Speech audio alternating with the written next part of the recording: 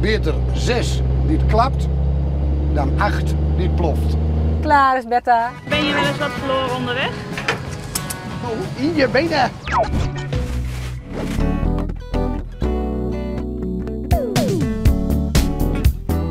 Vandaag een hele bijzondere dag. Ja. Waarom? ja, eerste werkdag weer na mijn verlof. Ja, Wat voor verlof? zwangerschapsverlof. Had een klein jongetje gekregen, drie maanden geleden. Maar het is je eerste dag dat ze zo lang eh, zonder mama moeten, toch? Ja. Het is al. eh, ik- ja, dat is de eerste dag, ja. En dat ik eh, echt volop. ik ben al niet langer dan drie uur bij de kinderen vandaan geweest in mijn zwangerschapsverlof. Dus ja. En vandaag wordt wel een lange dag. Hoe lang?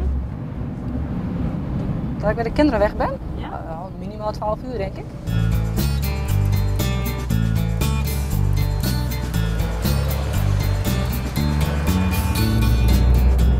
Trucker? Of ik een echte trucker ben? Ja, wat is een echte trucker? Nou, vertel eens. Ik mag, echte werk, ik mag het werk graag doen. Maar wat is een echte trucker? Ik loop die auto niet te poetsen de hele dag. Of, eh, Niet? nee, Waarom niet? ik heb er ook geen foto van, eh, van mijn auto boven bed hangen. Ik zie ook geen fotootje van je, van je vrouw of van je kinderen in de wagen. Nee, dat heb ik ook niet. Allemaal niet. Allemaal niet.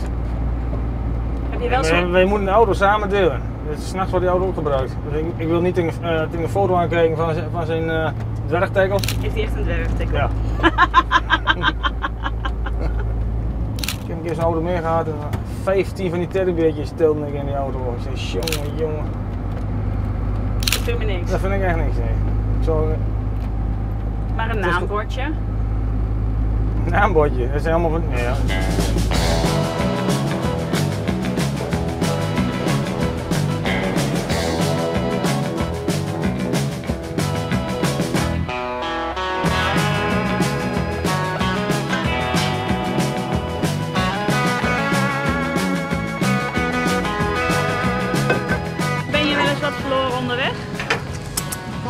Je benen.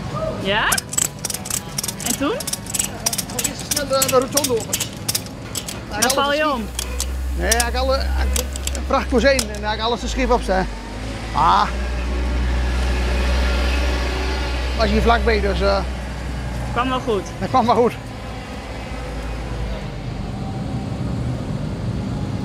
En waar moeten we heen? Zeg je? Waar gaan we heen? Gidoan. Ritje Gidoan.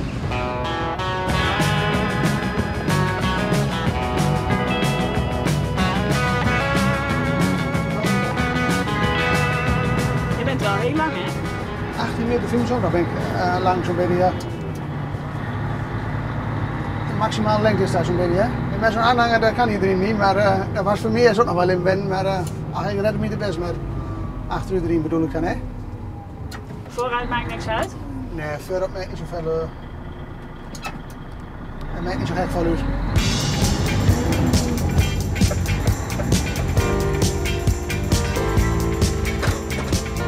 Nou, op goed geluk. Men wil dat graag zien. Dat wij de lading vastzetten. 20 jaar nooit wat gebeurd. Wil jij die vasthouden? Je bent erbij en je mag wat doen. Ik ben slaaf geworden. Nee, Harry samen uit, samen thuis. Ja, vroeger zeiden ze.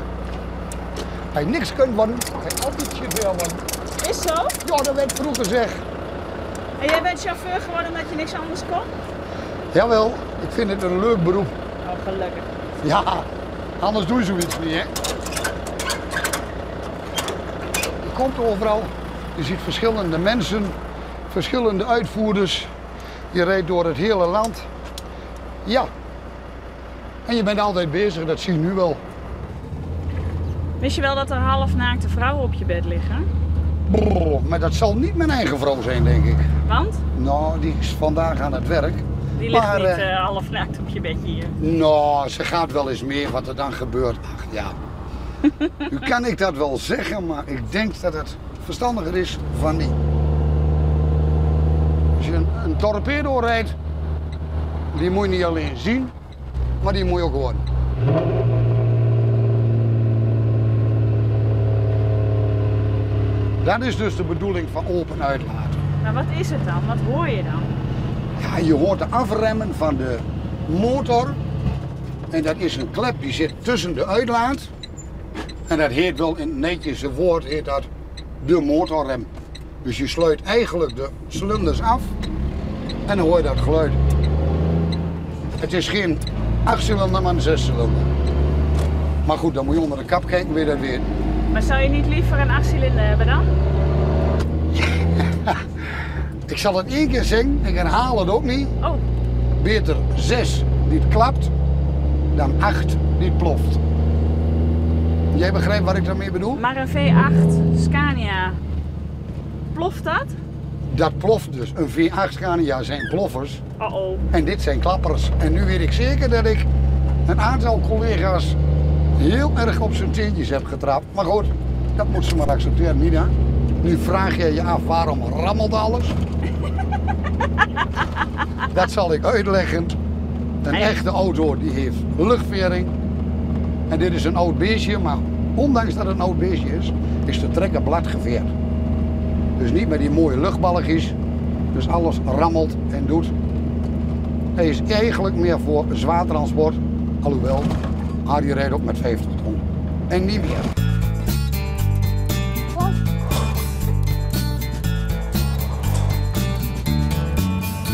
Dit is niet zo heel veel glas, dus daarom eh lossen we gewoon vanaf de vrachtwagen.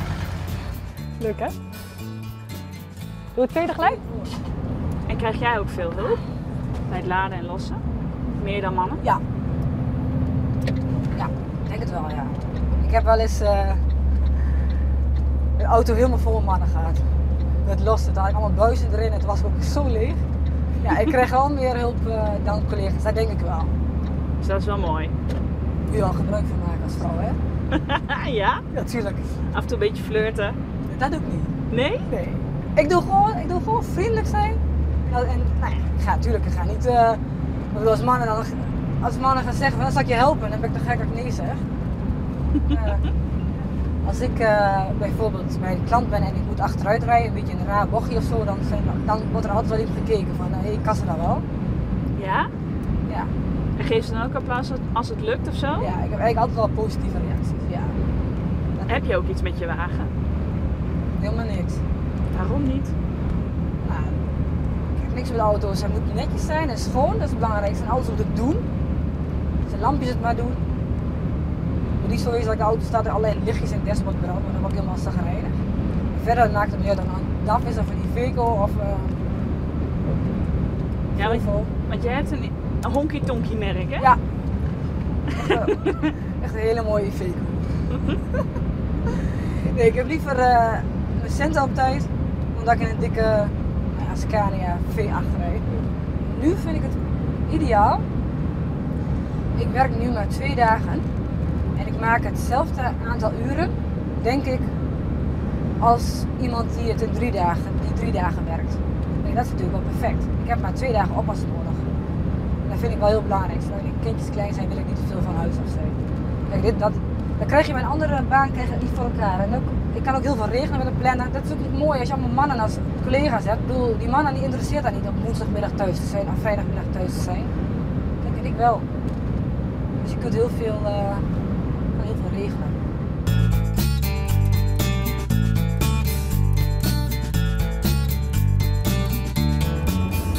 Nou, vorig jaar heb ik hier flinke pech gehad dat eh, in Hengelo toch met de auto in de brand. Tijdens het rijden. Tijdens het rijden, ja. Ging alles in geruit en aan in de auto. En bij de afslag, afslag Hengelo sloeg de auto af. En het was in één, in één keer boem. De hele auto eh, van voor tot achter afgebrand. Eh, het is toch een triest gezicht als je hele span eh daar staat eh, helemaal uitgebrand op de snelweg. En dan die jongens van de brandweer hier in Hengelo zeggen, Gerben, mooi brandje jongen. Ja, dat zou ik ook zeggen, want ik ben zelf ook bij de brandweer in, eh, in Ballenbrug. Dat, vinden dat zijn wel mooie klusjes natuurlijk voor de brandweer, maar je staat er toch bij te kijken. eh. Nou, je had het net over criminelen. Ik heb een paar keer, eh, toen reed ik nog nachtdiensten. Toen waren we eh, doelwit van een of andere criminele bende, ja dat klopt. Zijn tijdens het rijden achter een oplegger gekropen. Want ik was nergens gestapt. Vanaf Brussel, hier op aan, naar Oldenzaal, nergens gestapt. En toch, ik kom hier in Oldenzaal aan, een hele auto op de kop. Zeg het maar hoe het kan. Maar ze hebben er niks uitgehaald. Ik had geen waardevolle lading, dus eh, dat was mijn geluk. Maar stel dat ze dus waardevolle lading zouden vinden, dan proberen ze je van de weg af te, af te rijden.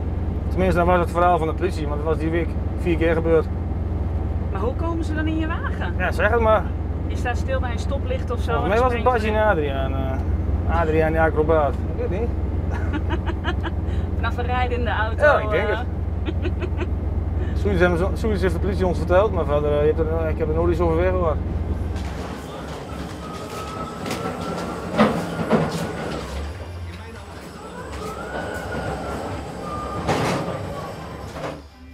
Bedankt hè. Waldbrug is een beetje te smal. Ja, en dan ga ik nog weer breder binnen als normaal.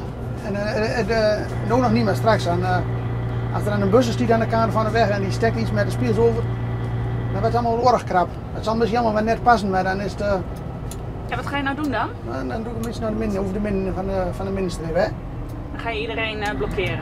Nou ja, nou, blokje maar uh, riek weer 50, maar je mag toch niet aan de rest 50. Dus, eh, nou ja, dan haalt zo in en dan uh, geef je hem de middelvinger naar boven en dan zo, hè?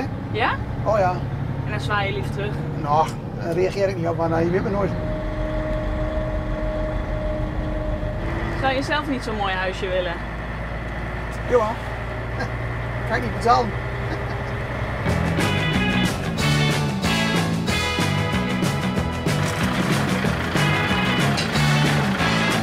daar rolt makkelijk die bandies op.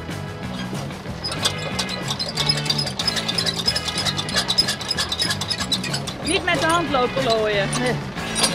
En dan doe ik altijd zo en dan ik altijd dit aan de, aan de buitenkant, want als ik er dan zo overheen gooi, dan heb ik altijd dat ding is met één handeling. Kijk, ik direct achterpik.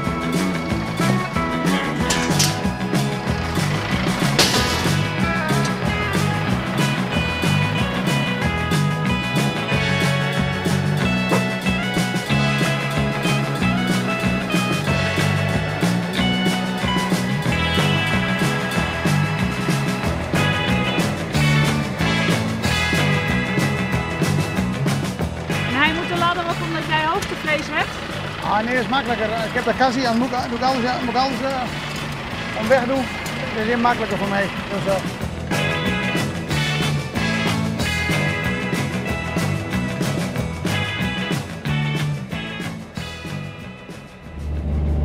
Deze auto heb ik gekregen in 2001. Dus die wordt straks 11 jaar. Is dat oud voor een vrachtwagen? Nou, bij sommige transportbedrijven 6, 7 jaar, dan zijn ze weg. Maar u ziet zelf, dit is een, ja, eigenlijk een uitstraling voor het bedrijf. Het is een auto waar een heleboel mensen naar kijken. Omdat je het filmen bent, zie je niet wat de buitenwereld doet. Maar iedereen vindt een leuke auto. En uh, ja, dat vinden mensen mooi om zo'n auto te zien. Ja, en die meneer die ziet het, die gaat netjes aan de kant. Maar met twee vrachtauto's hier, ja, dat wordt kiele kiele. Hou je vast, want nu komt er een bobbel in de weg. En dan komt er straks nog één. Nou, dat zijn van die dingen die hadden ze niet uit moeten vinden. Je kunt beter een chicane in de weg maken als zo'n bobbel. Maar deze, deze valt mee hoor. Nou, er is geen auto die dat houdt, hè. Ik denk dat jij dat ook wel weet met je persoonauto. Dat je dus zo omhoog vliegt. En zo weer omlaag vliegt. Dat dat niet gezellig is. En dat dat ook niet goed is voor de lading. En zeer zeker niet voor de auto's.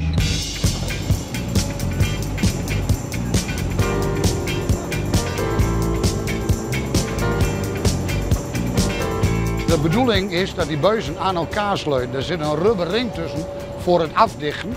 En die schuiven zo in elkaar. En dat kun je dus niet met de hand, vandaar dat ze het met de kraan doen. Nou is die waterdicht. Ik heb nog een vraagje buizen. Waar word je met naartoe? Heb jij die steen van de straat gehaald? Ja. Waarom? Oh, ik dacht dat die ligt in de weg. Die ben ik namelijk nodig. Oh, wat is het dan voor steen? Dat is gewoon een ouderwetse straatklinker. Maar die leg ik voor de buis, anders gaan de buizen aan de wandel. Oh, oké. En dat, zijn, uh, dat zullen de mensen niet leuk vinden. Dus ik dacht, ik ik leg ga hem op teen. Jij woont straten daarmee.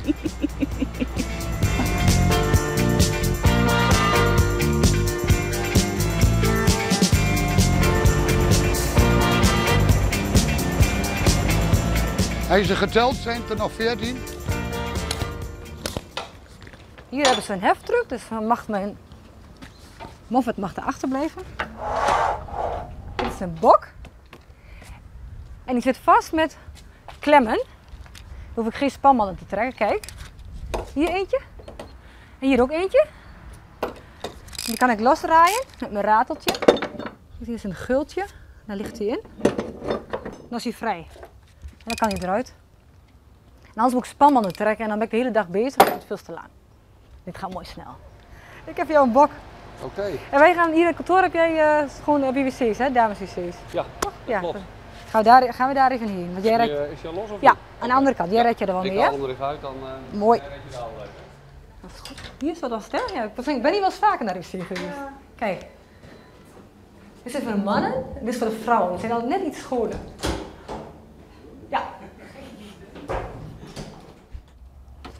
Ja. Nou moeten we pauze maken, want het zijn de regeltjes. En eh tja. Tas.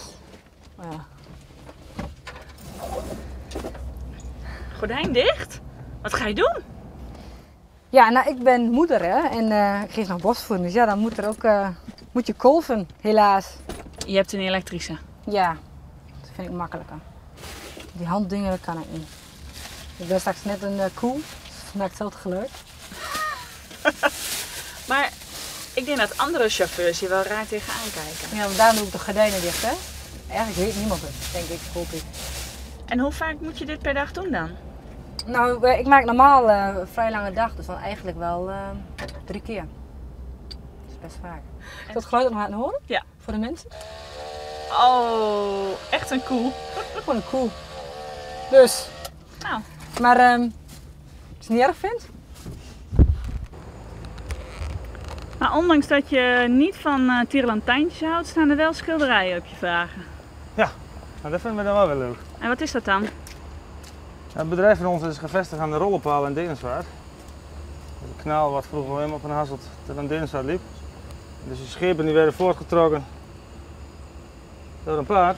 En aan het eind van het kanaal stond dan de, de paal, dat noemen ze dan de rollenpaal. En daar is, is dit bedrijf gevestigd. Dus ze vonden ze wel leuk om dat op al die schilden een tekening te maken. En dat vind je dan wel weer mooi. Dat vind ik dan wel leuk. Omdat er een verhaal in zit. Er zit een verhaal bij. Kijk, hier is dan de boordcomputer, daar staat, alles in. Moet de tijd veranderd worden dat je stil hebt gestaan. En al die klanten die staan hier ook in, dus die kun je dan afmelden dat je die geleverd hebt. Maar ben je dan echt altijd bezig met tijd in je hoofd?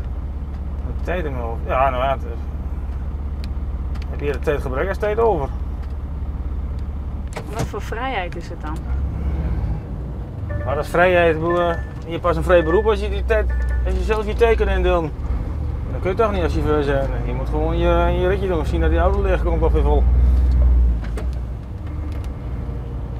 En als ik, als ik een, eh, een visboer zie, dan, dan stap ik gewoon hoor. Dan, dan hebben we er nog wat over. Dat, eh, die mate van vrijheid heb je. Dan ga je visje eten of uh, er zijn geen mensen overvallen.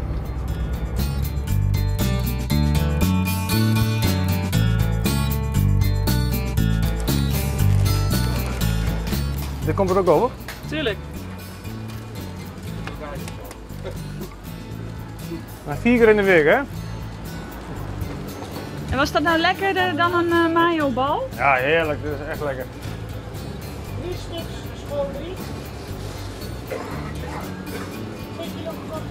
En ook veel sneller, denk ik. En sneller. En daar gaat het om, of niet? Dan gaat het om. Die auto moest leeg, hè? Auto moet leeg. Hoi! Maar Harry, zou je niet veel liever internationaal rijden? Dat zou ik wel willen, heb ik ook een tijd gedaan. Ben zelfs met een vrachtauto tot in Marokko geweest. Echt waar? Jazeker, maar ik heb een hele lieve vrouw getrouwd. En die wil dat Harry s'nachts thuis is. Mocht ik ooit alleen komen, wat ik niet hoop, dan denk ik dat ik nog een keer weer op internationaal ga. Ja? Ja, Maar mis je het? nee, ik zit hier nu 26 jaar. Dus ik mis het eigenlijk nu op dit moment niet. Nu, ik heb het goed thuis. Ik heb een motor. Ik heb een paar prachtige kleinkinderen. Ik heb een paar prachtige kinderen. Dus ik hoef niet meer zo nodig. Maar was ik helemaal alleen, ja, dan ging Harry toch weer internationaal. Klaar. Klaar is Bertha. Dit is het resultaat. Nou, best netjes. 180 milliliter. In. Kijk, De koelkast. de koelkast. Lekker koel. Ik wil even alles weer opruimen. Zal Badje mij ook missen? was past goed bij oma. Ik